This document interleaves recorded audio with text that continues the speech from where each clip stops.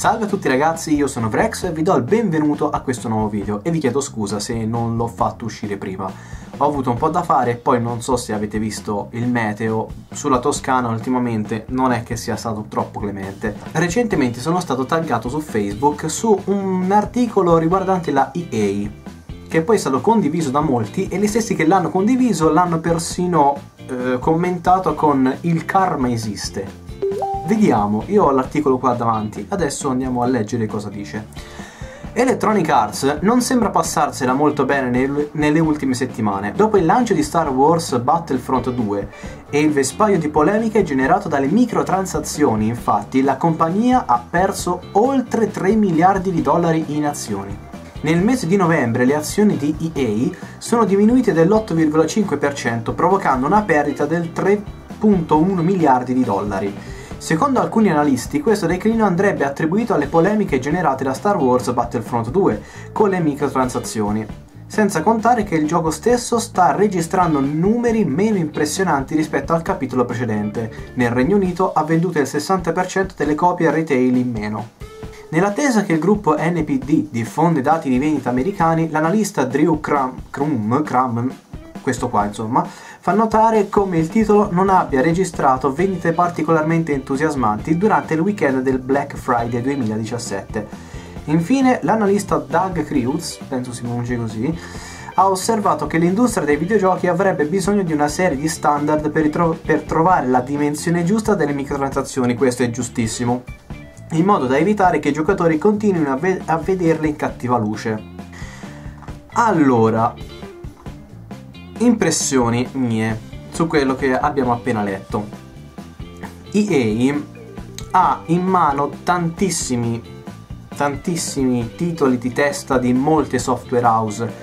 Ha collaborato per esempio, vabbè, sapete che io sono fan di Mass Effect e quindi Electronic Arts ha avuto a che fare anche con Mass Effect, ma con tantissimi altri giochi, non solo Mass Effect ovviamente, e sono tanti titoli che poi sono diventati famosi sono diventati sono molto chiacchierati, sono parlati dalla community internazionale, italiana, insomma da tutti. EA viene anche messa al centro di certe polemiche che la vede colpevole di aver dato de delle scadenze troppo brevi a certe software house oppure di essere stata troppo sul collo a queste software house. Per esempio, dato che si parla di analisti qua, ci sono all'interno di software house, non c'è soltanto quello che scrive la storia, quello che crea il comparto tecnico, il comparto audio, il comparto del suono, insomma, ok, ma spendono anche molto denaro per le indagini di mercato, ovvero vedere in quale punto dell'anno è meglio far uscire un gioco, qual è il periodo più significativo, magari c'è una festa di mezzo, vai lo, lasciamo, lo lanciamo là.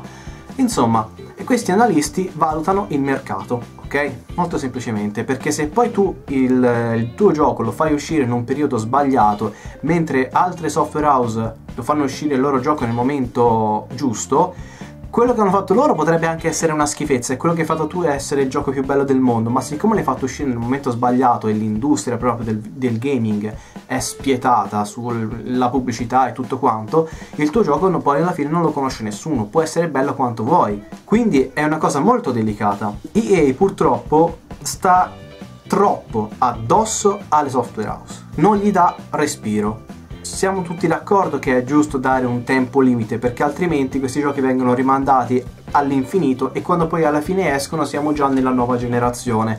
Va benissimo dare delle limitazioni al tempo, però stare troppo pressanti su qualcuno che sta producendo un prodotto che poi tu lo devi vendere cioè, alla, alla, EA non gliene frega niente. Senti, questa è la, la, scadenza, non me ne frega niente di quello che fai, taglia qualcosa, ma qui deve uscire il gioco, altrimenti ti trovi qualcun altro che te lo pubblicizza. E questo comporta un danno. Ora, cosa c'entra col discorso di um, Star Wars Battlefront 2? Ora ci arrivo. Quella casa che ha fatto quel gioco lo deve tagliare per farlo uscire prima e quella parte tagliata ci fa un DLC lo fate a pagamento e tutti la community poi si arrabbia e perché si chiede per quale cavolo di motivo questo contenuto lo devo pagare a parte se non mi offre nulla di nuovo e tutto questo poteva essere incluso nel gioco base poi vabbè qui si apre una parentesi gigantesca però già c'è questo astio molto rilevante verso la EA perché lo sappiamo tutti com'è fatta. E tu al primo posto devi mettere un prodotto che porta soldi.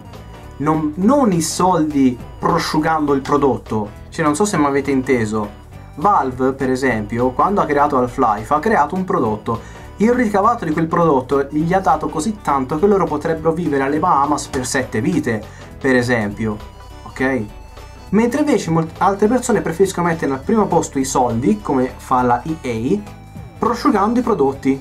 Se poi ci mettiamo anche il fatto che tu lanci un gioco e hai una cattiva gestione delle microtransazioni, che sono micro non è niente, ma quando sono 80 miliardi di persone che fanno la stessa microtransazione sono soldi.